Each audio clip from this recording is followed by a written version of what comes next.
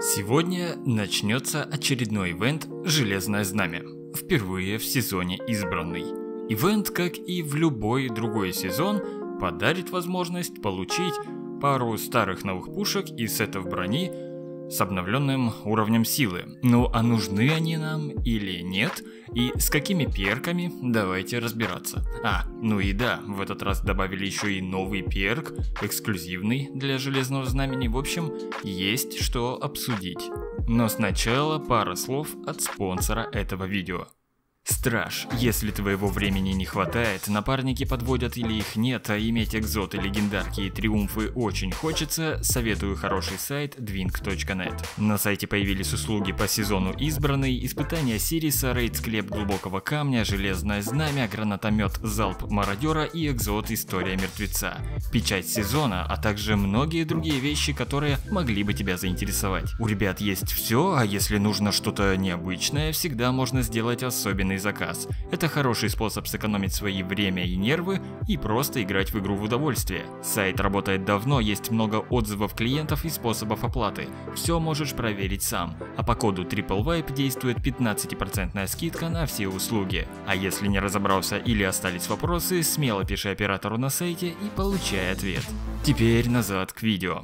В начале сезона случился прикол, и те стражи, которые рискнули и оставили в своем инвентаре выполненные контракты Железного Знамени, при сдаче этих самых контрактов могли получить новое оружие раньше срока, импульсную винтовку «Источенный временем шпиль» и пистолет-пулемет «Мультимах».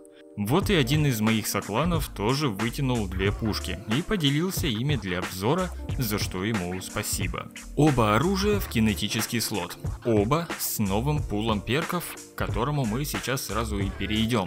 Начнем с ППшки.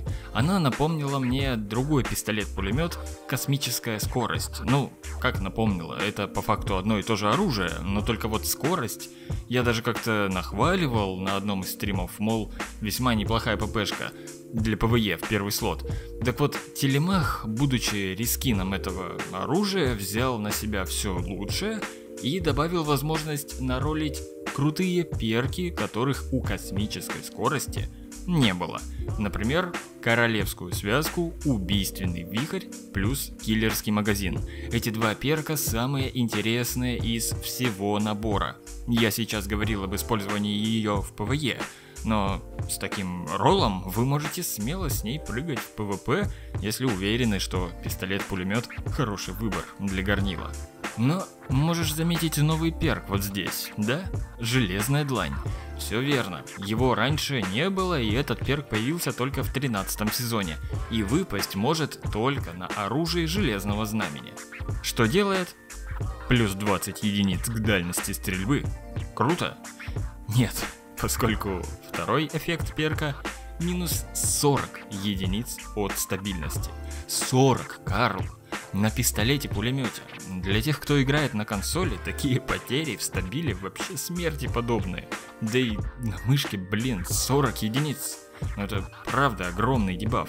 Понятно, что 20 единиц к дальности это тоже очень круто, и дебаф нужен для ну, баланса, но, блин, все эти перки из Железного Знамени, они все что-то выкручивают на максимум, а что-то просто стирают в пыль. Так что нет, новый перк «Железная длань» я никому советовать не могу. Собирайте ППшку такую. Прицел 6 петля, высокоточные припасы, убийственный вихрь и киллерский магазин. И все, будьте довольны. Переходим к импульсной винтовке, источенный временем шпиль. Во-первых, это 540 архетип. Крайне высокоскорострельный, значит особого урона от винтовки ждать не приходится. Его должна компенсировать скорость стрельбы и точность. Да и если мы посмотрим на список перков, то тоже кажется все очень интересным. Можно собрать набор из рикошеток, питающей ярости и полосы удач, что будет фактически гадролом для любой пульсы. Но меня невероятно огорчила пульса своей неконтролируемой отдачей. С ней тупо сложно управиться. Точность стрельбы оставляет желать лучшего уже на средней дистанции, то есть даже на тех расстояниях, на которых гипотетически пульса подобного архетипа могла бы работать, эта винтовка уступит любому 120 или 140 револьверу. Записывать хоть какой-то геймплей с этим шпилем было просто мучительным занятием, честно признаюсь.